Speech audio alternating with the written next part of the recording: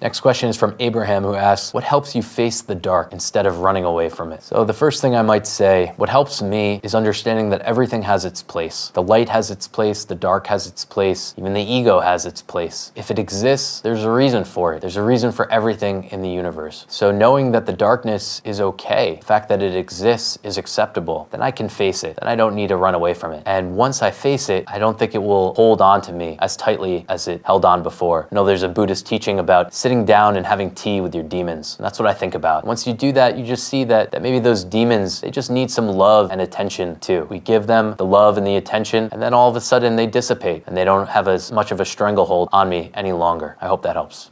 Thanks so much for watching. If you have any other questions or comments, feel free to leave them in the chat box. So appreciate your time and attention. Om Shanti.